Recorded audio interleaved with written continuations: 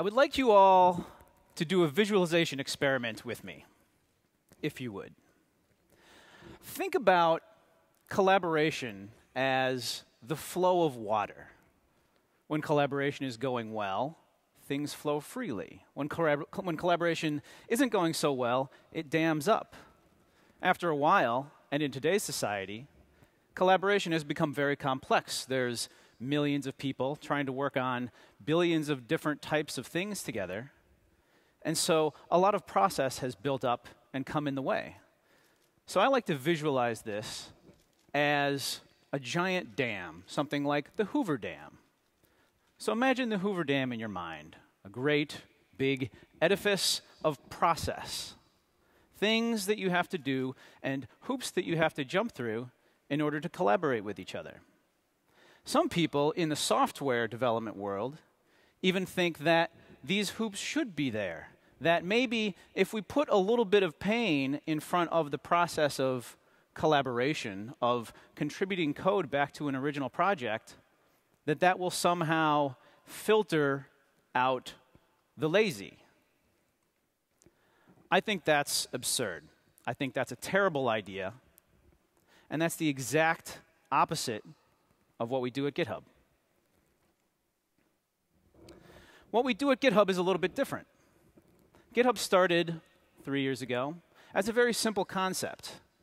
Several of us were open source developers. We had a lot of code out there in the open that people were using and that people wanted to contribute to. So, what did we do? We spent our weekends and our nights working on this code.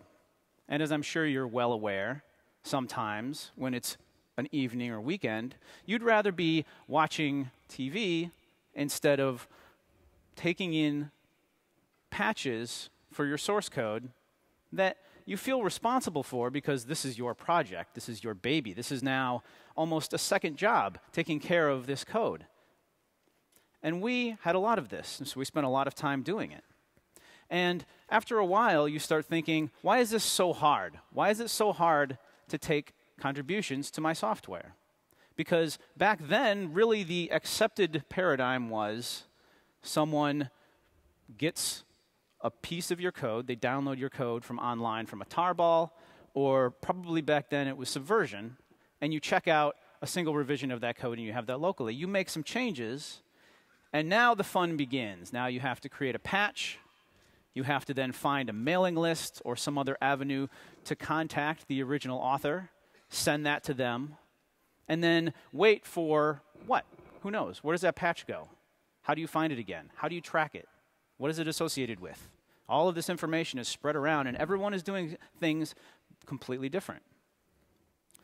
So along came this magical little system called Git. And Git is a distributed version control system that makes some very interesting things possible.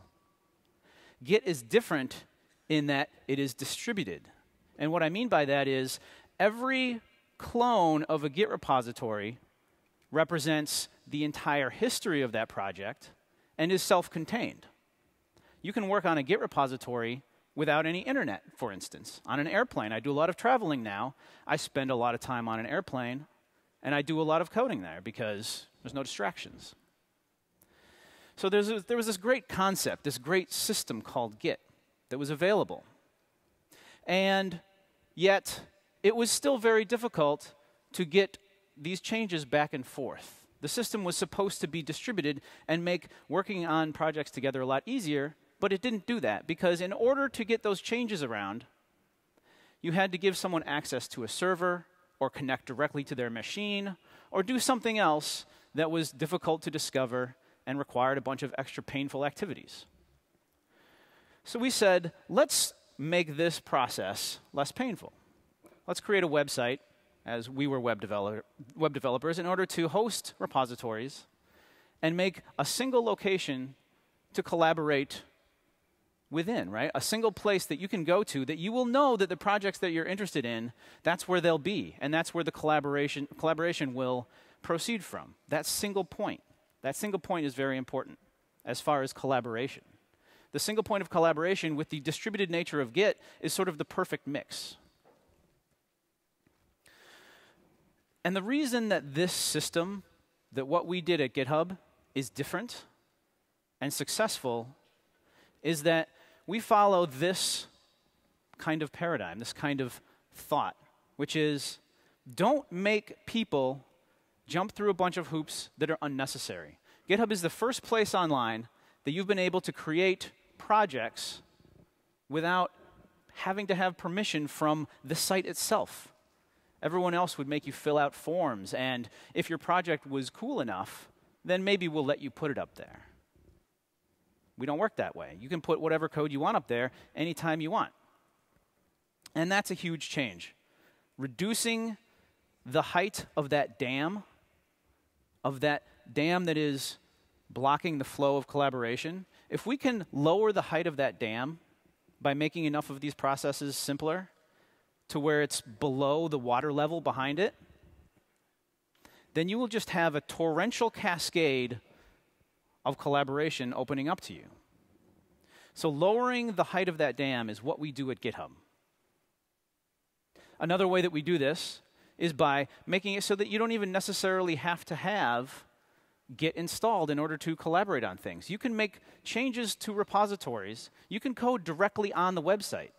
If you go to a file and hit edit, you can edit it right in place on the website and make commits from there. And other people are creating even better tooling around this concept. Entire IDEs are built around GitHub now so that you can code online. You don't need Git. You can do that on your own now. Another very valuable concept that we have is personal responsibility. And this phrase, we put this on shirts and we sell it.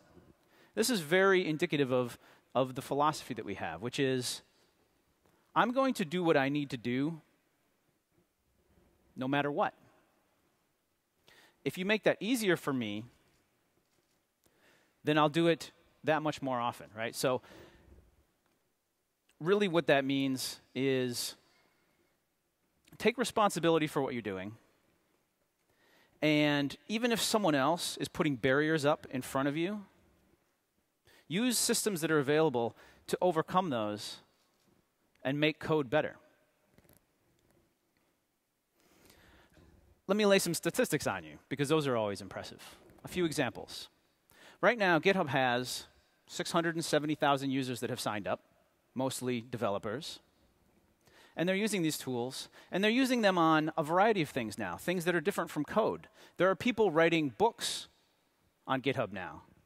The US law code is on GitHub now, so that you can track changes in the laws that are being made. Because the lawyers don't want you to know what those are sometimes, they try to hide them. When bills are made, there's all kinds of stuff in there that's hidden. They're tacking little things on. If we can expose those through another, me- um, another mechanism that Git makes possible, the concept of diffing, making easy to see what changed between two versions of software or text in general, well, that's a way to collaborate and say, hey, these things aren't right, they need to change. One of my favorite examples is software called Homebrew. Homebrew is a package manager for the Mac operating system. This software didn't even exist eight months ago. And now it has over 2,000 forks on GitHub. That's nearly 2,000 people that have forked that software, made a contribution, or intended to, and sent it back upstream. That's how new packages are deployed to this package management system. Other things like Rails have 1,300 forks, Node.js, 600 forks. So you can see that this concept, when exposed to you, when you break down those barriers, people will start contributing.